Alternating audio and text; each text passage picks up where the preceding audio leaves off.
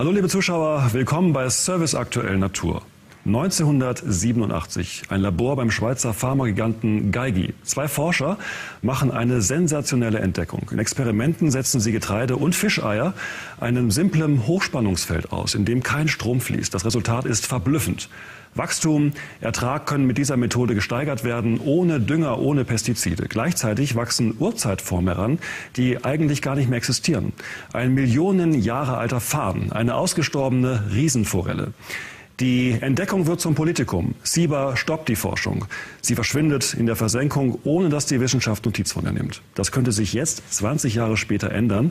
Denn in diesem Buch, liebe Zuschauer, legt ein Schweizer Journalist erstmals Details des revolutionären Experiments offen. Des Urzeiteffekts, den sich bis heute kaum ein Biologe schlüssig erklären kann. Vielleicht ja unser Gast, Daniel Ebner, Wissenschaftler und Sohn des inzwischen verstorbenen Entdeckers. Schön, dass Sie hier sind, Herr Ebner. Danke, dass ich hier sein darf.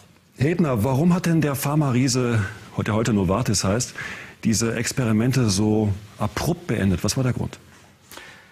Ich denke, dass ähm, die Zielsetzungen, äh, die verfolgt werden mit ähm, der Ertragssteigerung über ein E-Feld und der Einfachheit dieser Technologie dazu geführt hat, dass die entsprechenden äh, Produkte, die die ähm, Novartis oder eben die Vorgängerfirmen oder jetzt auch Syngenta als Nachfolgefirma. Ähm, äh, herstellt, eigentlich nicht äh, in der Linie stehen. Also dass die dann im Prinzip leiden darunter, ähm, die ihre Produktlinie, dass ähm, eben sie nicht mehr angewendet werden müssen. Das heißt also, Sie meinen jetzt Pestizide zum Beispiel? Zum Beispiel Pestizide oder zum Beispiel auch ähm, äh, Insektenvertilgungsmittel mhm. oder ähm, äh, Agrochemikalien, die im Prinzip ähm, Schädlinge bekämpfen, mhm. während ähm, der äh, Nutz das heißt, Pflanzen auf. Ja, ähm, das heißt, die Forscher haben gewissermaßen am eigenen Ast gesägt ihres eigenen Unternehmensziels. Ähm, richtig. Also ich denke, das war der ursprüngliche ja, Gedanke, der dann äh, dazu führte, dass es gestoppt ja. wurde. Waren sich denn Ihr Vater und sein Forscherkollege, der Heinz Schürch heißt, von Anfang an über die Tragweite Ihrer Entdeckung im Klaren? Nein, sicher nicht. Also das, was auch passiert ist, ist ja, dass man mit einfachen Systemen eigentlich versucht hatte, Phänomene zu finden, die aufgrund des applizierten Nähfeldes zustande kommen. Das hat man mit Bakterien gemacht, dann eben mit Farben. Und äh, ging dann schrittweise eigentlich zu höher entwickelten Organismen über. Mhm. Also eben zum Weizen, zum Mais und dann auch zu den Fischen mhm. und sah verblüffenderweise Phänomene, die man ja. bisher nicht gekannt hat. Absolut. Die Forscher verblüfften seinerzeit mit ihrer Entdeckung auch das Fernsehpublikum. Kaum zu glauben, aber ausgerechnet in einer Unterhaltungsshow mit Kurt Felix wurden Millionen Menschen Zeugen eines Wunders. Assistent hier mitgenommen, der Heinz Schürch. Er sitzt schon am Mikroskop. Es handelt sich wirklich um eine wissenschaftliche, das dürfen wir ruhig so sagen, um eine wissenschaftliche Sensation wo sie heute den Schleier ja. lüftet. Das ist bis jetzt unter Verschluss geblieben. Pflanzen so wachsen lassen, wie sie vor Jahrmillionen gewachsen sind. Also Pflanzen, die heute gar nicht mehr so wachsen, haben sie wieder können ja, Millionen zurückverfolgen. Wie haben die dort mal ausgesehen? Und auch da können wir das Geheimnis lüften. Das ist ein Farn und an, an und für sich ist das ein gewöhnlicher Wurmfarn, wie jedermann kennt. Und Sporen von, denen, von, von so einem Wurmfarn haben wir behandelt, wiederum mit einem Elektrofeld und was rausgekommen ist, ist der. Farn. Ja.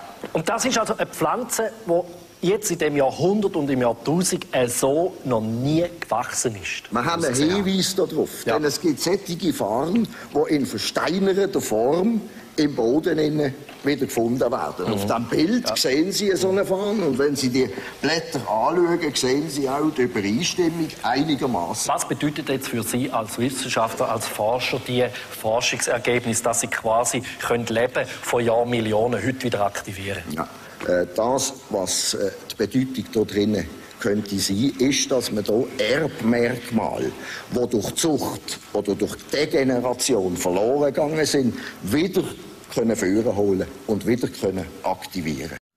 Tja, Schöne Bilder. 18 Jahre ist das her, der junge Kurt Felix. Man muss schon genau zuhören, dass man alles versteht. Herr Ebner, ähm, wie hat denn diese Methode funktioniert? Erklären Sie es doch mal unseren Zuschauern in möglichst einfachen Worten. Einfach gesagt ähm, handelt es sich um ein Spannungspotenzial, ähm, das ein Unterschied ist zwischen oben und unten, in dem eine Pflanze dann darin wächst. Und ähm, oben ist ein negativer Pol und unten ein positiver Pol. Also man kann sich das etwa äh, vorstellen ja. wie bei, ähm, wenn wir ein Gewitter haben, wenn wir Wolken haben ähm, am Himmel und äh, wir haben die Erde, die ist dann positiv geladen, oben ist negativ, dann entladet sich das auch mit einem Blitz. Mhm. Das ist die Spannung, die im Prinzip zwischen Himmel und Erde da zustande kommt. Das ist das Potenzial, das da dazwischen ist. Und warum gedeiht da was?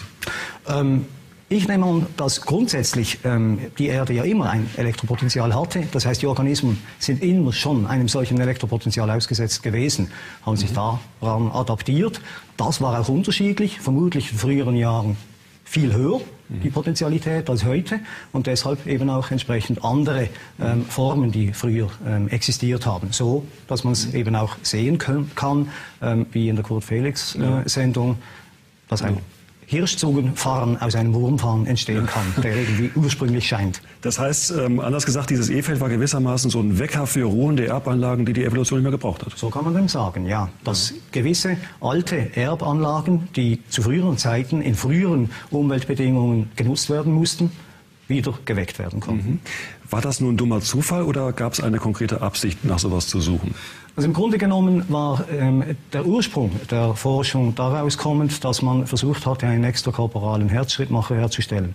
Mhm. Ähm, da ging es darum, ein Resonanzphänomen mit dem Herzen, das ja eine Herzrhyth einen Herzrhythmus erzeugt über ein spezielles Art, äh, eine spezielle Art der Nervenimpulsleitung das zu beeinflussen von außen war äh, der Sinn. Und das konnte man über E-Felder mal stimulieren mhm. und fand dann auch, und es ist doch sicher ein interessantes Phänomen auch für andere mhm. ähm, äh, energetische Beeinflussungen von Organismen. Ja. Gleichzeitig spielt es auch eine Rolle bei unserer Entwicklung.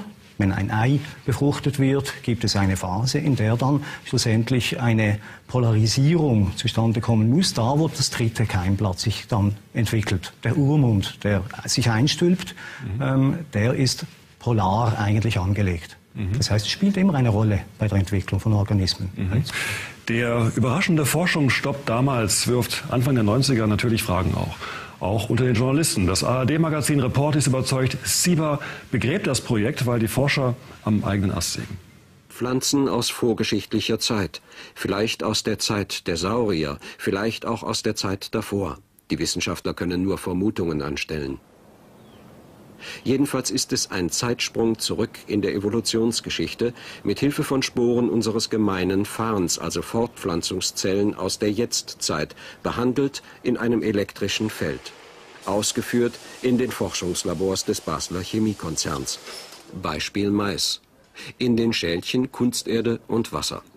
Maiskörner werden eingelegt. Ciba-Geigy-Forscher Heinz Schürch bereitet einen Versuch vor.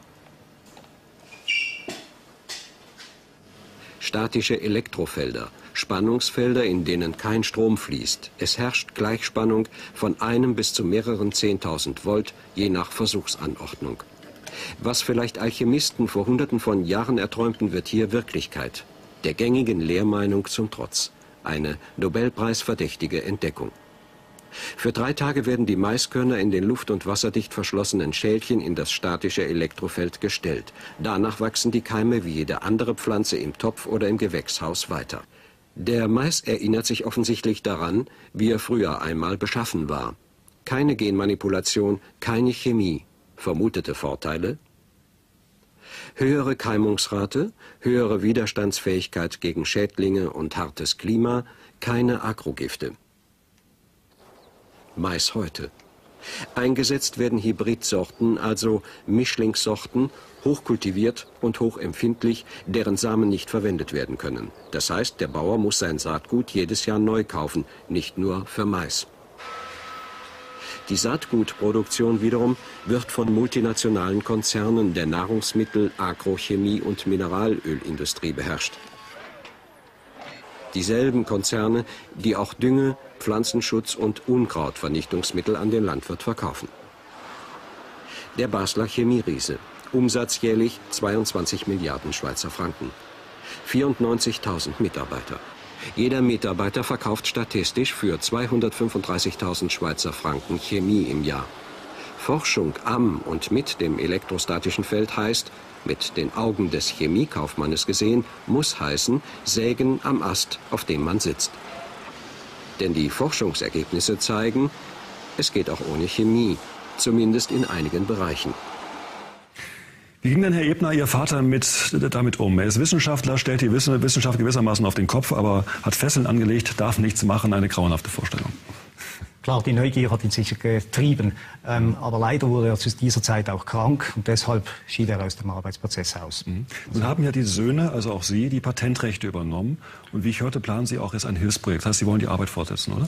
Das ist korrekt. Also wir haben ähm, zusammen jetzt ein Institut gegründet, das wir Guido-Ebner-Institut nennen, ähm, das im Prinzip Forschungsprojekte unterstützen soll oder eben auch selbst vornehmen kann in dem, im Umfeld vom statischen Elektrofeld und gleichzeitig eben auch Projekte ähm, bezüglich Saatgut zu machen in Afrika, in ähm, Drittweltländern, in denen der Bedarf eben relativ hoch ist, dass vor Ort etwas produziert werden kann.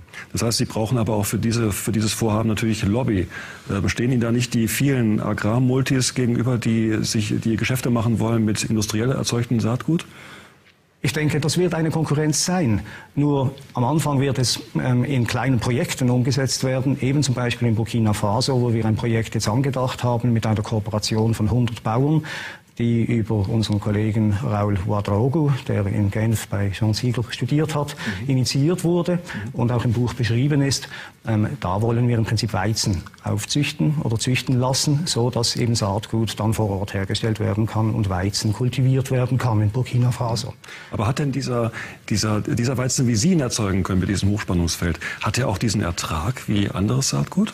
Wir haben vierfachen Ertrag gefunden. Wir konnten den mehrfach zeigen und ist auch äh, dokumentiert, äh, analog zum Mais im Buch. Ähm, man sieht da Bilder entsprechend äh, von einem Buschweizen, der bis zu 36 Ähren trägt und damit eben auch ein... Steckt da so viel? Oh, ah, ein Riesenvorteil ist, gezeigt hat, dass sie in einer kürzeren äh, Samen damit schlussendlich dann auch wieder in einer kürzeren Zeit als es herkömmlich der Fall ist. Mhm. Insofern die wechselnden Forschungsabteilungen schon lange verschiedene Universitäten, die sich Freiburg im Breisgau, ähm, Herr Wagner, der sich, es gibt aber auch die Universität Mainz, bei der er ein Diplomarbeit und in, äh, für Matrixphänomene, die aufkommen. So gibt es Technologie. Preisträger in Basel mhm. haben Forschungen zur Aktivität im Prinzip ähm, untersucht werden. Doch. Eine Frage. Nochmal zurück sehr ehrgeizig und muss sagen, es ist richtig spannend geschrieben, sehr unterhaltsam auch teilweise. Ähm, was für sich mehr Aufmerksamkeit? Das, was da erforscht wurde, soweit. Und als solches und ich setzen. Insofern ähm, wollten wir das zusammentragen, um so für dieses Projekt ja. dann äh, Aufmerksamkeit zu bekommen. Ja, und vielen Dank, Herr Ebner, für Ihren Besuch bei uns. Das war Service aktuell Wissen. Alle Informationen zur Sendung und zum Programm finden Sie bei uns auch im Internet unter ard- Nächste Woche heißt es bei uns mehr rund ums Meer.